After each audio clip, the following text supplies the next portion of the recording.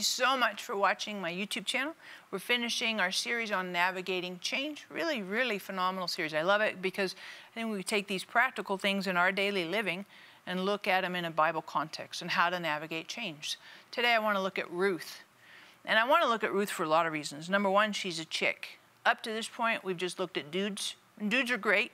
No, no cut down on the dudes, but we need a chick like represent. Hello, hello.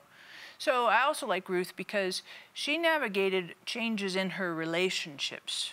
And that's a big deal.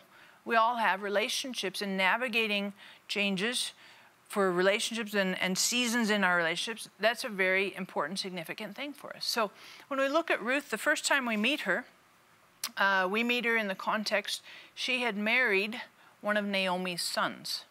Naomi had moved with her husband to uh, Moab, and they lived there because there was a famine in Israel. They lived there, and Naomi had two boys, and Ruth married one of those boys. Ruth was from Moab. She was a Moabitess. Right. So she marries this guy, but the tragic thing, so that's change right there. She marries a foreigner who lives in her country and who had fled temporarily to, for a place to live. She marries a foreigner, that's challenging. Because if you've ever done cross cultural marriages, that's tricky. It's difficult. Different languages, different contexts, different worldview. I mean, you grow up and it's just a different dynamic. So you marry a foreign person and, and how do you do how do you work through those marriages i've met people who have had cross-cultural marriages and it's challenging it's tricky it's difficult you have to be very committed to number one genuine love and number two communicating communicating what's in your heart what's your emotions are all those things is very important so when we navigate uh, relationship changes communication has to be very very important but when her husband dies well naomi decides she's going to go back to Israel because that's her homeland. And not only does uh, both of her boys die, but Naomi's husband dies too. So Ruth is there, hey, you know, my, my husband died, my father in law died, now I just have my mother in law, and I feel like I need to keep following and stay connected in that relationship. And she does. She follows sorry, she follows Naomi back to Israel. And she says to Naomi, Your God will be my God. Your people will be my people. Your land, your country will be my land, my country. And sometimes we need to be committed to our relationships, particularly when we are led by God.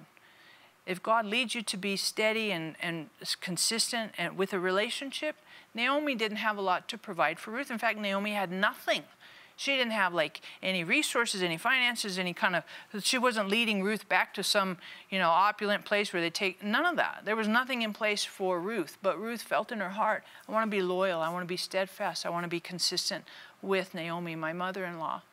And I think in and of itself, that's very valuable. And is very valuable in our day and age because I think we cut bait on our relationships really fast. In fact, I see it a lot on Instagram, I see it a lot on Facebook, where, you know, get the toxic people out of your life. And I, I can appreciate really, and I'm not, I'm not an advocate for abuse, and I, get, I can appreciate not being too close around toxic people. But I think if we keep pushing people away that are toxic, then we pretty soon we've excluded everybody, and we better exclude ourselves because ultimately, family, you and I, ultimately, I'm sinful, you're sinful. Yes, I'm under the blood of Jesus, but I have some things about me that are toxic, and you do too. Because we're human, we're flawed, we're not perfect. And so at some point, we say, look, if God has led me into this relationship, and maybe God changes a season and it's a new season and God leads you out of it.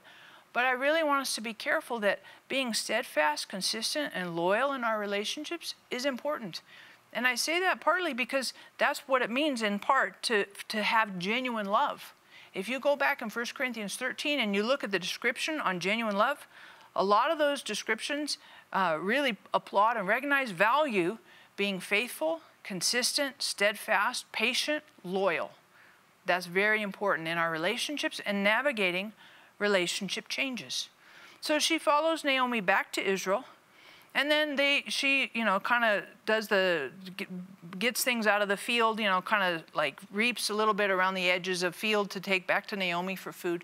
And then the relationship changes again because she meets Boaz.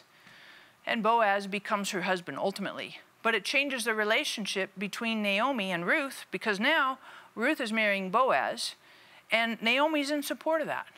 And I really love and appreciate that when we go through relationship changes, that we support our friends and our family that go through changes that God has designed and impacted and directing in their life. That we don't push them down or discourage them from following God and following God's plan for their life. And that we pursue God's plan for our life. And that we value and appreciate and esteem the relationships that God puts in our lives, even for a season, a reason, or just for a lifetime. But let's be conscientious and steward and navigate changes in our relationships so that Jesus can help us know who he is better through us for those individuals and for us as well in those and in those relational contexts. I think it's really important for us to be conscientious of our relationships because there's connection points and it's culture and it's God letting uh, genuine love work through us as well as in us. So I just encourage you, love to get some feedback. Give me thumbs up, thumbs down. Of course, I'd love to have you subscribe. That would be fantastic.